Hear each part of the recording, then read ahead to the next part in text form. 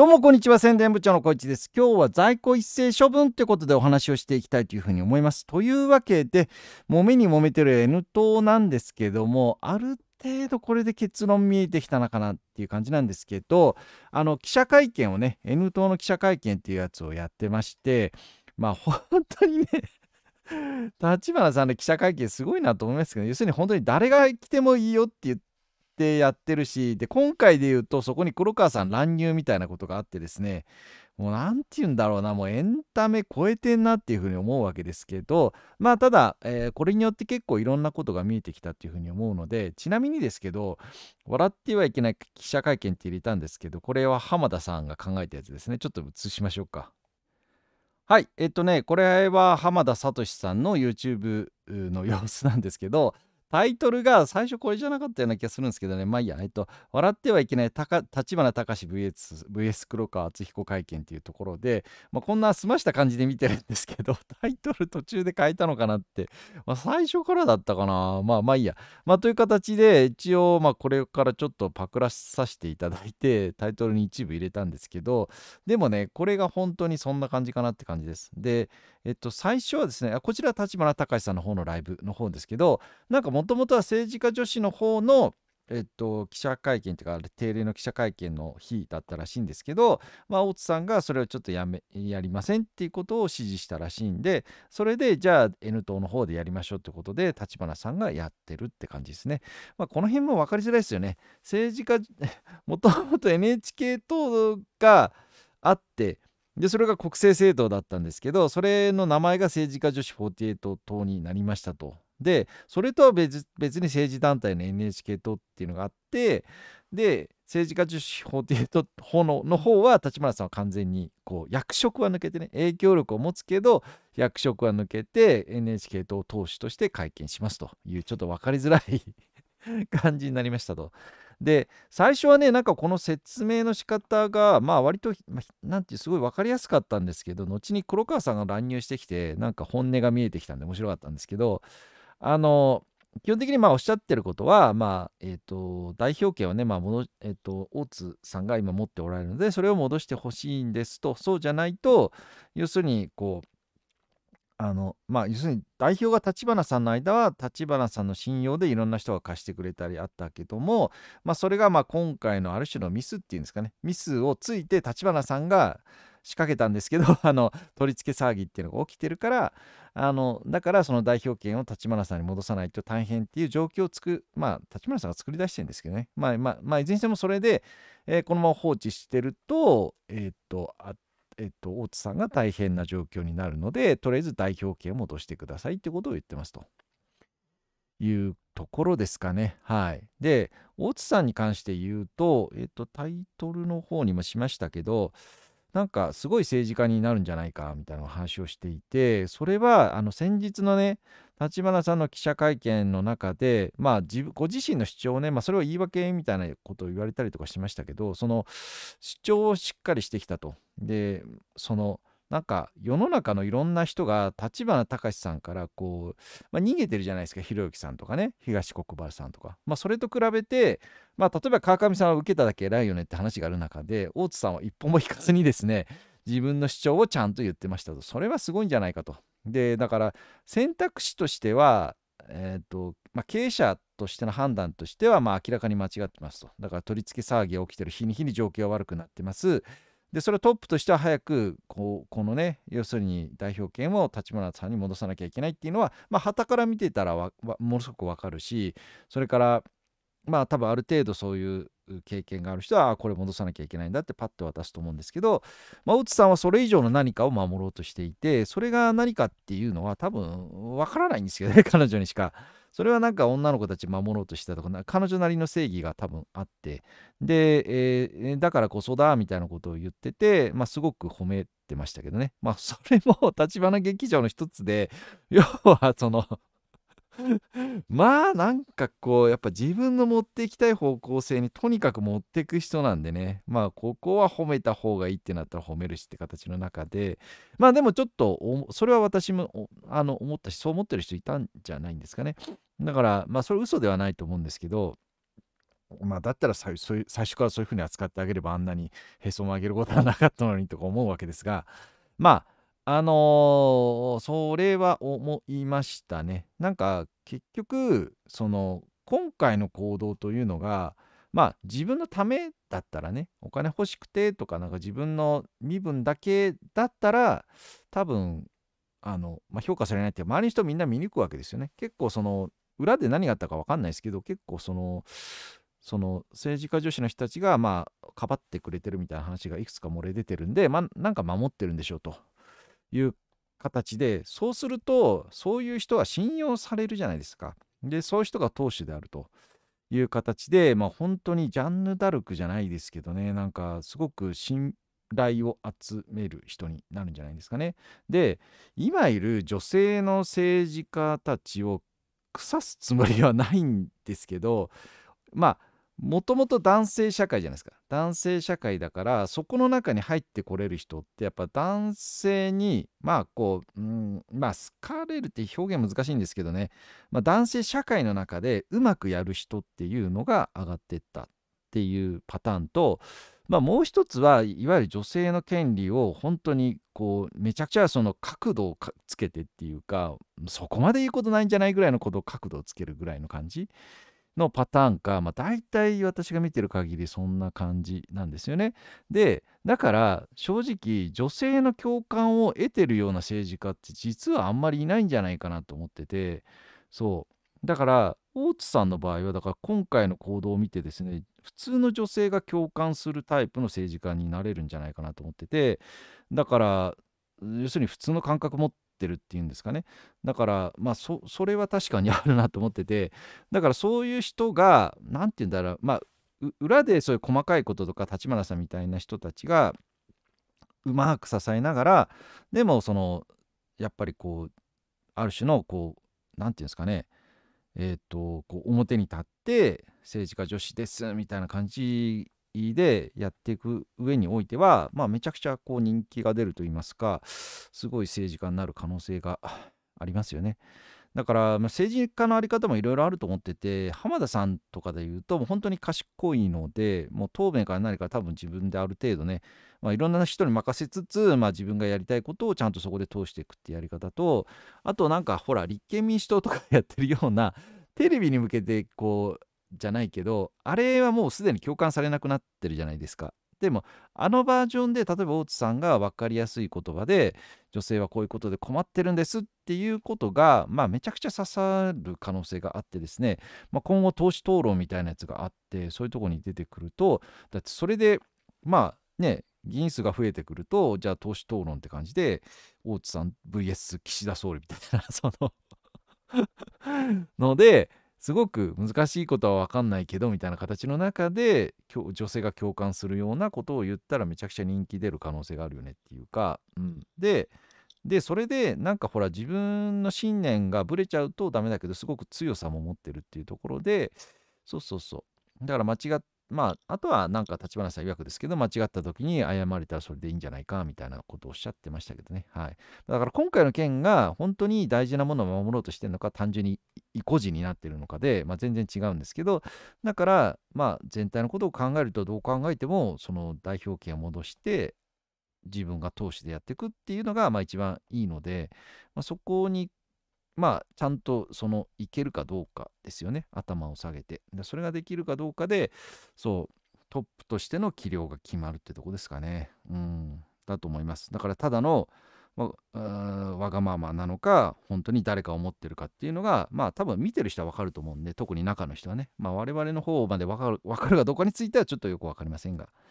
ということだと思いますっていう話を結構してましたね。はい。であそうだ今の話はね記者会見後のなんかあのネタばらしみたいな感じの中でちょろちょろ政治家女子の人たちにいろいろお話をされてましたね。でというわけなのでちょっと N 党の記者会見の方にちょっと戻るんですけどえっ、ー、とここの中でまあちょっといろいろ言われてたのに戻るんですけどえっ、ー、ということで、まあ、ちょっとね、えー、大津さんが、まあまあ、ここでもすごいって話をしてて、まあ政治家にやっぱ党首としてお願いしたいみたいなことを言ってて、これからの政治に必要なんじゃないかっていう話をしてましたね。はい。で、あとは、あとはまあ黒川さんの問題ですよね。まあ、いくつか言ってましたね。入管証改正だとかですね。あのあと、神谷さんとかですごい突っ込んでた件について、今更批判してましたね。あの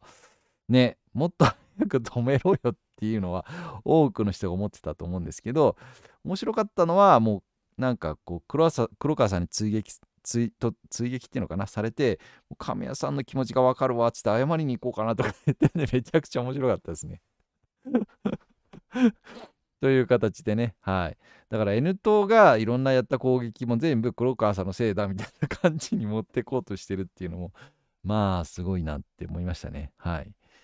という感じで、まあ全てが劇場なんでね、どこまで、まあ全てが本心であり、全てが劇場なんでしょうね。すごいなと思います。で、えっと、それであと明確になんでダメかって話で言うと、違法な政治パ政治資金パーティーをやったから、それを禁止したのにやったからダメなんだっていうことをまあ繰り返し言ってましたね。で、普通の政治家パーティーだったらいいよってことで、だけどやろうとしたのが、まあお金を取って、えっと、なんかその、まあ、いわゆるこう風俗みたいなサービスの提供ですよね。であの中身についてはいろいろ疑義があるみたいなんですけどやっぱりなんかサービスを提供するってなるとそれは普通のパーティーにしてそのちゃんと納税しなきゃいけないっていうのはまさに総理でだから違法っていうか脱税になっちゃうのが良くないよっておっしゃってたんでだから普通の政治資金パーティーやりゃよかったんじゃないのと。いう話だと思うんですけどね、まあ、この辺についてはまあ私もそこまで詳しくないんでね。あれなんですけど、まあ、まあ、とにかくこれが一番の決定打だったっていうところですね。そうですよね。はい。で、まあ結局それ、それで政治家パーティーをやるって言って、で、これまずいなと思ってたところ、次の日に1000万返金しろみたいなのが、あの、立花さんのとこに来たらしいんで、だからこのまんまじゃまずいな、奥のが来るなと思って焦って、あの、いろいろ話をしたんだけど、分かってもらえなくてっていうところからグダグダの流れが今に至るっていう 感じみたいですね。はい。で、まあ、途中までは結構理路整然とですね、普通に説明してたんですけど、なんかその後で、この後ね、えっと、黒川さんが乱入してきます。はい。えっ、と、どれかなこれか。黒川さんが乱入してきて もうなんかここがまあちょっとめちゃくちゃ面白かったんでまあここはなんか見ないとわかんないんでよかったら見てください。あの だってこの間まで一緒にやってたじゃんって。思うわけですけど。まあ要するに立花さんの本音としてはもう翼の塔が単純に言うと邪魔で切らなきゃいけないって判断をして、まあ、そのために今回のいろんなことを仕掛けましたっていうことを本音をまあはっきりおっしゃってましたね。はい、でそこで板挟みになったのが大津さんで。でしかも大津さんが結構あのまあ彼女を主張聞いてても分かるんですけど黒川さん寄りになっちゃっててかなり取り込まれてるから、まあ、だからまあ、うん、結構圧がいっちゃってて申し訳ないみたいなね。まあ大体言うとそんな話ですかね。はい。だからまあ被害者ですよね。あの被害者だけどだけどやっぱり党のことを考えるとこのまんままあ普通に考えたら分かりますけど逆に言うとよく入れたなと思うんですけどびっくりしましたけどね。なんかその N 党に知らない間になんかこここういうね会議の席になんか黒川さんが普通に座ってたのを見た時にびっくりしましたよ。いやなんかほら別に黒川さんの活動活動で別に私は別になんか応援も否定もしないんですけど何て言うんだろうまあでもこう場合によってはいいことになる時あるじゃないですか、まあ、今宗教関係のとこ突っ込んでてまあ立花さんはそれは憲法違反じゃないかっていうことを言ってるけどまあでも実際なんか本当に困ってる人がいてですねなんかこうなかなか助けてくれない中まあね、ああいう形で目立つ形ガーってやってくれるってなるとそれで救われる人もいるわけですよね。だから、まあ、そういった活動とか含めてまあ別に何て言うんだろうなその黒川さん自体が翼の通して活動する分にはいいんでしょうけどただ N 党としては今後邪魔になるなっていうだけの話ですね。で価値観もお金の価値観も合わないって言っててそれはねなんかなんて言うんだろう難し難しいけどその黒川さんがいろんなところの価値観が緩いなっていうのは見てて思いますかね正直ね。奥の金借りた時のまあまああのそれを返さなくていい理由について喋ってる動画も聞いたことあるんですけどそれはないんじゃないかなって思うけどだけどそういうぶっ飛んだ感性だからあんなことができる。そしてテレビに出て「安倍のせいだ」って曲を披露したりとかしてましたけど よくできるなと思って。だから鉄砲玉としては最強なんだけどだけどやっぱり一緒にやる上においてなんかそのこの辺ちょっと超えたらまずいよねっていうとこ多分簡単に超えちゃうのでそうすると N 党としては、まあ、これからねえー、っと堀江さんの人脈みたいな人たちとか、まあ、要するにまともでな人とか人気の人がどんどんどんどん入ってきてほしいわけですね。これから党のイメージをそれなりにまあなんていうとある程度ぶっ飛んだことあぶったんぶっ飛んだことやってるけど面白いよねぐらいの感じで収めたいんですよおそらくね。だからだけど極物までいっちゃうとちょっと困るみたいな形の中でまあ政党それなりにまあ要するにすごい人をこれからどんどんどんどんまあ多分入っていく流れのフェーズになるのでねガーシーさんもひょっとしたら出てくれるかもしれないですしその辺はちょっとわからないですけどだからすごいですよね。出てきた名前が松浦さんの話だとかまあ勝手に立花さんが言ってるだけですけどね。でも100打ちゃ1つ当たるみたいな形でまあどっかで誰かが出てくれるわけですよ。実際堀江も巻き込んでますからね最初なんか関わりたくないみたいな感じのだったね最初ね堀江さんと立花さんの関係で。そうだから堀江さんをちょっとかなり怯えながらというか警戒しながらちょっと話してたんですけど割と話してすぐにこうあこの人言ってること面白いじゃんみたいな感じになってってそっから付き合い始まるけどでも最初の方はまあでも頑張ってねぐらいの感じだったんですよ。で途中からまああの斉藤さんっていうんですかね隣に秘書を預けるみたいな形でこいつ政治家になりたいって言ってんだよねって感じで紹介してででそっから何年かでもう政治家になっちゃいましたからね。だから そう。だどどれかがやっぱり当たるんだと思うんですよね。だからこの辺のなんかその機動力の速さと思い切りの良さプラス何て言うんでしょうね。まあ旗から見てると荒いんですけどまあなんかね結構打率は高いなっていう感じがしますよね。そう。だけど当然やってみないとわからないって感じでやってるから外れる時もあるし情勢に合わせて変えるからそれがコロコロ変わってるように見えるっていう感じなんでしょうね。はい。っていう感じでまあとにかく 見てる分にはすごい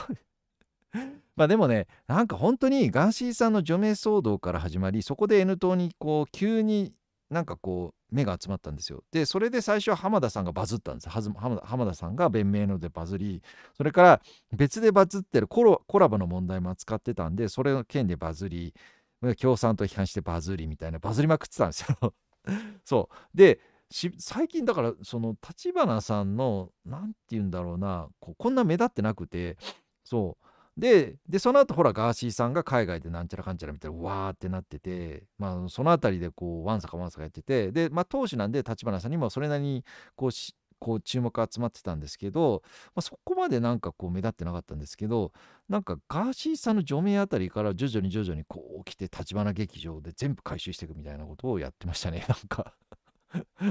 すごいなと思いますけどね。はい。まあ、ちなみにですけど、あの、まあ、ガーシーさんの方はね、国売とか含め、まあ、あの、除名問題については、やっぱおかしいって話は多分今後もやっていくんだと思いますけどね。はい。っていう感じでございますと。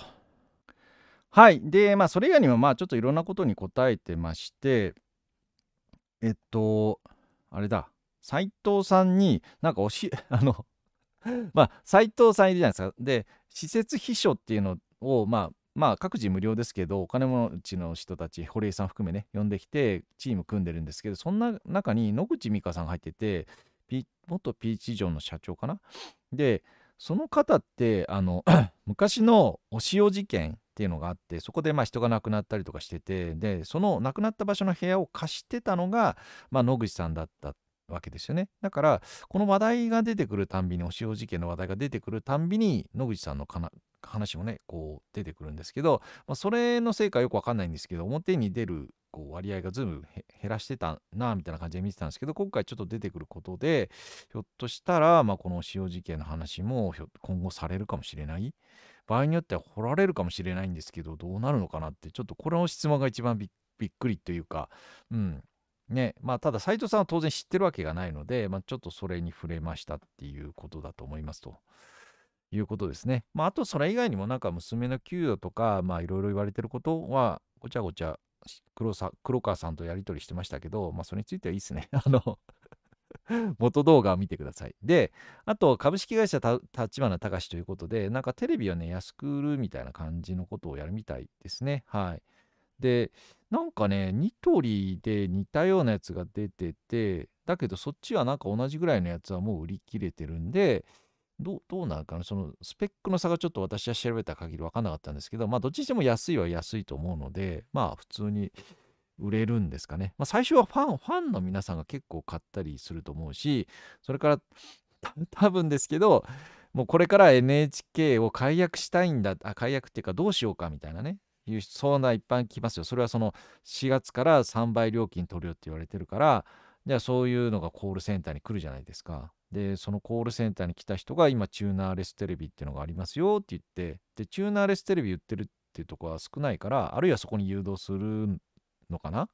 すれば、そのチューナーレステレビが売ってて売れますみたいなことで、そのでかい商売をどうもやろうとしてるって感じですかね。なんか、ドンキも昔売ってたけど、なんかやめたのかな。まあ、ニトリもいつまで売ってくれるかもわかんないですよね。その、ね、まあ結局圧力じゃないですか。あのそう。だから今回の件で売れたら明らかに分かってくると思うんですけど、立花さんがこう、チューナレステレビ売ります。めちゃくちゃ売れましたっていう風になると、そうすると、本来はドンキとかで、このね、チューナレステレビ有名になったんだから、ドンキが売ってなきゃおかしいんですけど、ね、わかんないけどね、まあ、その辺がいろいろひっくり返り始めたらドンキも売り始めるかもしれないですけど、まあ、ある種今ビジネスチャンスといえばビジネスチャンスなんでしょうね。はい。ということがありましたって感じですかね。いやー、ちょっと情報量がすごい多くて大変なんですけど、あのまあ、一番大変なのはね、N 党の方々とかね、それからボランティアの方とかね、支援者の方々でしょうけどね、まあ、と とりあえず、まあ結論としては立花さんが、まあ、ちょっと黒川さんが邪魔になったので排除と。で、プラス今回の件で、えー、誰が信用できるのかできないのかっていうのがまあ分かったっていうことを言っててね、本当ね、なんか戦国時代みたいですよね。なんかちょっとこう、わざとなんかちょっと、うつけのふりをしてとかなんかそういうのいっぱいあるじゃないですか。で、そこでじーっと見ながら、こいつはこうやって裏切るんだっていうのを見ながら、トップに立つとよーく見えますからね。はい。で、それでちょっとずつちょっとずつ本当に裏切らない、そのコアメンバーみたいなやつがいて、で、それが、まあまあ、あの、ちょっとずつ増えてっていう感じなんでしょうね。はい。まあ、そんなとこですかね。はい。まあ、いずれにしてもね、大津さんが早く出てきてね、投手に返り咲くのが多分一番いいんでしょうね。はい。以上でございます。ご視聴ありがとうございました。チャンネル登録もよろしくね。